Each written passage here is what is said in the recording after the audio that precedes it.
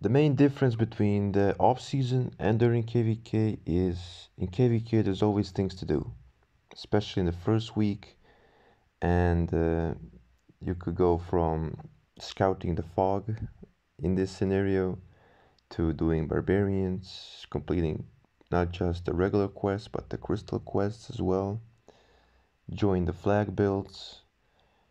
You know, a lot of things to do when you log in each time compared to the off season where you usually just finish the daily quest and you and then you log in to do to send out your farmers and then do some forts, things like that. So in KVK it's always fun and always try to have some value each time when you log in. On the first day I literally just used five peacekeeping marches and you know just done barbs while I was scouting the fog and that is the reason why I still ha- why I have a lot of honor. And it's probably the most honor that I had in a KVK since I could remember. So it's just double value and I don't mind spending the AP and during the first week I think it's like the most important foundation you can build. And I think I've done just that even when my time is limited during the day because of work but I'm still trying to make it work and I'm still being very consistent and I've scouted pretty much everything except the remaining camp camp zones and I'm hesitant on whether whether should I do it, but I think in the end I will, just because I want to get all the map cleared out. It's like an OCD thing to me. But uh, as you can see with the video, now I'm just sending my scouts to scout the remaining caves that I've done while I was discovering the territory. I chose this day to record my routine simply because I'm upgrading my Liu to another skill and I'm doing the hunt for history and uh, spoiler alert I get pretty wrecked I don't remember the last time I got so I wouldn't say ripped off but just simply wrecked from doing hunt for history. Usually I do it very efficiently but this time it was very very actually gem expensive but I, it's still value so you'll see it in the, later in the video. So as you can see my crystal spent is nearly 7 million which is not bad at all my honor is pushing 10k as soon as this video goes live so I think I've done pretty well for myself I think I'm still top 50, top 35. And obviously, honor ranks have never been my goal. But uh, it's just a nice indicator of activity. And uh, I just want to make up for my last KVK where I didn't really stay consistent enough in the beginning. So I really want to rectify that in this KVK. So you will see I'm saving my gold keys for day 5 of this event of the Will of the Ancients. So I could get, I believe it was 20 gold keys in to open. So that's why I hoard them. I usually open them. And uh, I'm doing the Bastion quests and I'm still training T4s, but it's getting very speed ups costly. So I'm gonna probably switch to upgrading to T5s just to make it more sufficient, but I think I've done my goal. My goal was to really have a lot of T4 infantry so I can feel with them, and I have well over 900k. So I think I've done well in that regard, and uh, we got fighting in five days' time, so we'll we'll see how that works. And I, like I said in my last video, I'm doing the T4 challenge. I'm just using T4s on the field I'm not going to use a single T5. The only way T5s are going to be used is joining rallies and garrisons. And uh, really looking forward to it. I just know for a, a fact my marches will be faster, but also will be more squishier because, you know, T5s offer more stats, but they offer less movement speed, which is a fair trade. And um, yeah, we'll see how that goes. you will now see my tech. My tech is pretty decent for this part. I've I pushed for the treaties, but then I got blocked.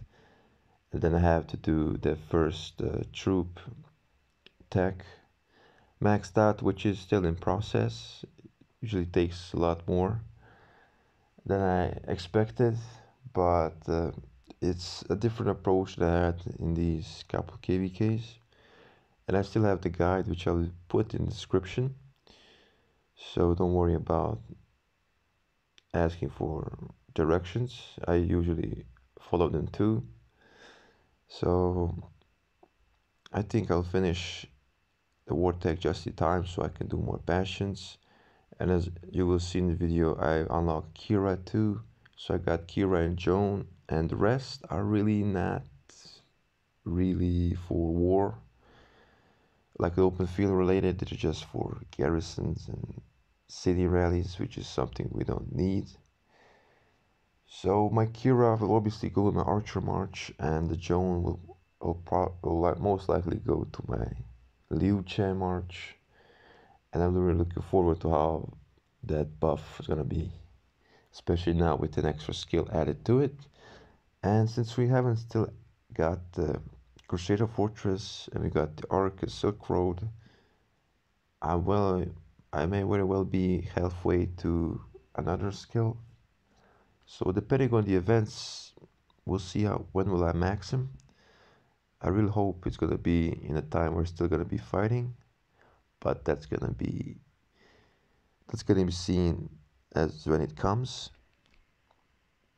Before we get to the part where I transmute my armament, I just want to say we reached 150,000 views on the channel, a very big monument for me. And uh, obviously, we gain a lot of subscribers. And if you watch this video and you haven't subscribed, then please do so and uh, those who subscribe please like the video so you, I can see your support and I'm really happy with the progression and as for the watch hours I, I believe I need less than 100 now so everything is going as planned and uh, but enough about that. Thank you for the support. It's very appreciated. And as you can see I got my Kira. And now I'm just gonna, for the rest of the bastions, I'm, I'm just gonna level them gradually, not focus on each one because I don't really need those skills. So I'm gonna make each each bastion level 6 as time goes by.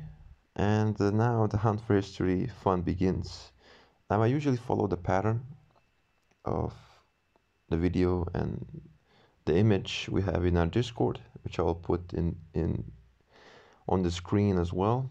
But this time I really did not get the, the results that I wanted, which is strange because I usually do. And I don't know. The last time I didn't really use gems. I think I used maybe two, two hammers.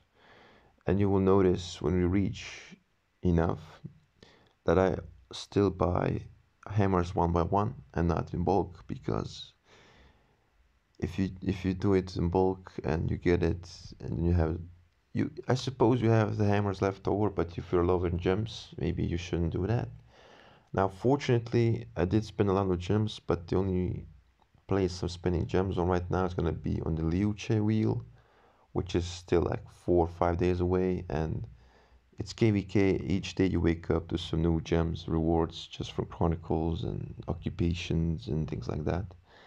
So I'm really not worried, especially when I'm doing KVK barbs as well. I think I've gained like, I think I've gained 5k gems just from doing the five marches with bar, five bar marches. So I think it's gems well spent in my opinion. But yeah, the reason why I wanted to make the archer gloves was simply because I had enough of the, and this hunt for history would be just enough to make the print. And I was hoping for a crit. Hey, that kind of rhymed. But uh, spoiler alert, it wasn't meant to be, and I don't remember the last time I got a crit legendary, and it's getting really annoying. For my next craft, I'll probably just refine the shields once I get the blueprints from the Lost Canyon shop, which is gonna be a couple days away, and it's probably gonna be my biggest bet for refined talent, and fingers crossed, I guess. So, if you guys enjoyed the video, like, subscribe, and uh, I will see you in the next one.